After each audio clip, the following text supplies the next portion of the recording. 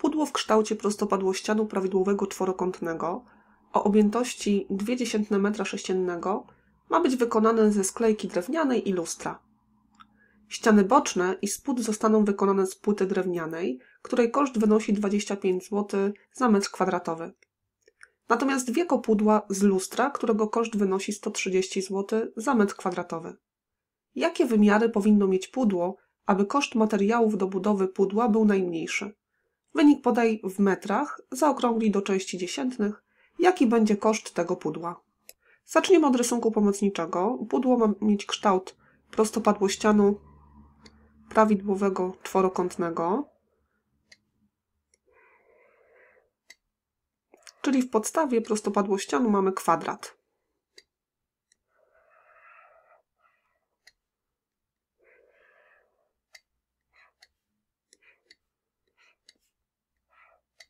Nazwijmy krawędzie y, w podstawie x i krawędź boczną jako wysokość, czyli h. Wiem, że objętość tego prostopadłościanu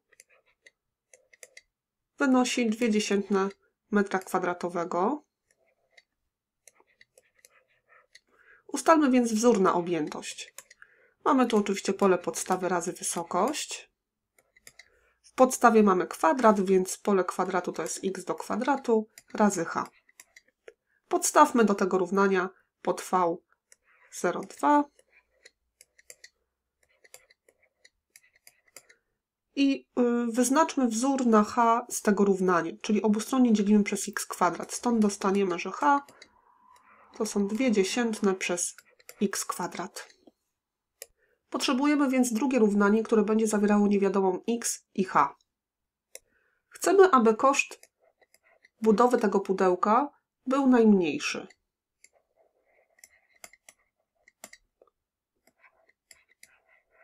Spróbujmy więc ustalić wzór na funkcję kosztów y, budowy pudełka.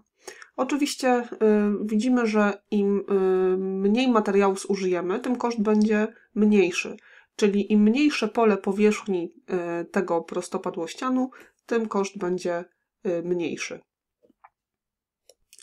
Podstawa prostopadłościanu jest wykonana ze sklejki drewnianej, czyli możemy zapisać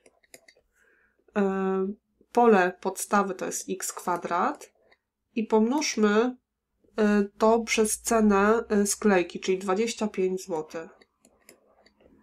Ściany boczne również są wykonane ze sklejki. Y, każda ze ścian bocznych jest prostokątem o wymiarach x na h, czyli mamy x razy h i mnożymy przez koszt, czyli też przez 25 zł. I zostało nam jeszcze e, wieko górne, które jest wykonane z lustra. E, jest to kwadrat o wymiarach x na x, czyli mamy x kwadrat i koszt lustra to jest 130 zł za metr kwadratowy.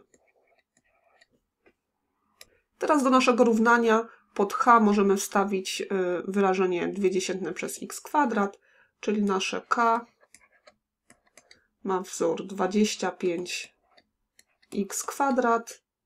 Tu możemy od razu dodać jeszcze plus 130 x kwadrat i plus 25x i za h wstawiamy 2 dziesiętne przez x kwadrat.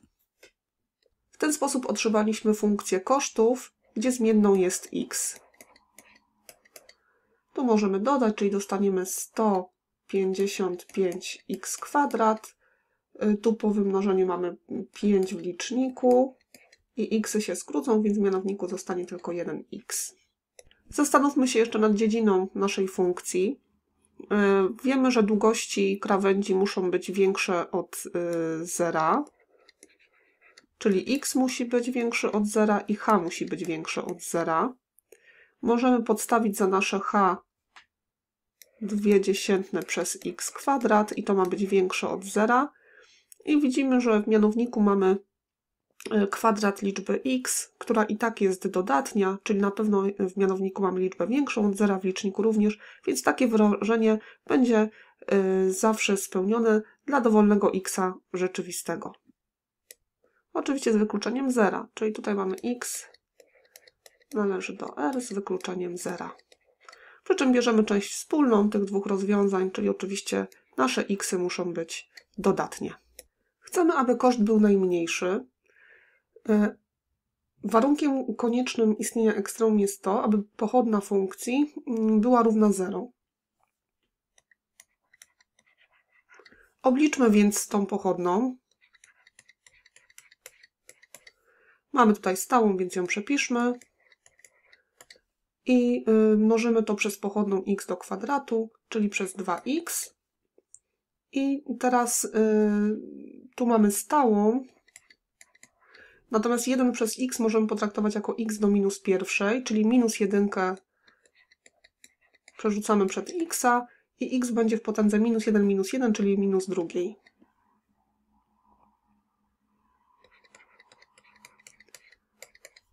Tu pomnóżmy. Mamy 310x i minus 5 możemy dać do licznika, a w mianowniku będziemy mieli x kwadrat. Teraz poszukajmy y, miejsc podejrzanych o ekstremum, czyli pochodną przyrównajmy do zera.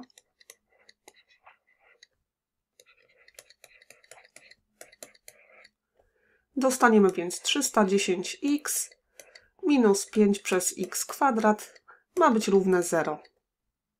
Sprowadźmy więc te wyrażenia do wspólnego mianownika. Oczywiście wspólnym mianownikiem będzie x kwadrat. Możemy potraktować tak, jakby w mianowniku była 1. Czyli mamy x kwadrat. Pomnożyliśmy mianownik przez x kwadrat, więc licznik również mnożymy przez x, x kwadrat, czyli mamy 310x do potęgi trzeciej. A drugi ułamek przepisujemy bez zmian. Możemy to już dać na wspólną kreskę ułamkową, czyli w liczniku mamy 310x do potęgi trzeciej minus 5 i to ma być równe 0. Rozwiążmy więc to równanie. Mianownik oczywiście jest y, różny od zera, dlatego że nasze x są większe od zera. Mm, zastanówmy się, kiedy ułamek będzie równy 0. Oczywiście wtedy, gdy jego licznik jest zerem, czyli 310x do potęgi trzeciej minus 5 ma być równe 0. Rozwiążmy to równanie. 310x do trzeciej zostawmy po lewej stronie równania, piątkę przeniesiemy na prawą stronę i wystarczy już teraz obustronnie podzielić przez 310.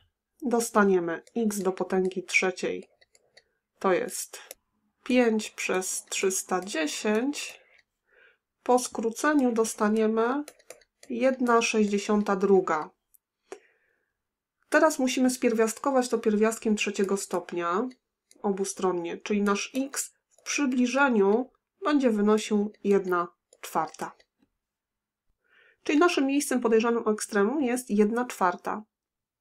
Sprawdźmy, czy rzeczywiście y, w 1 czwartej funkcja k posiada minimum. W tym celu naszkicujemy wykres pochodnej.